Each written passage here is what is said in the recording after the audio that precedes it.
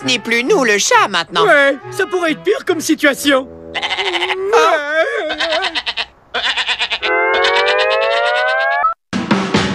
Vamos nos divertir com os bananas! Está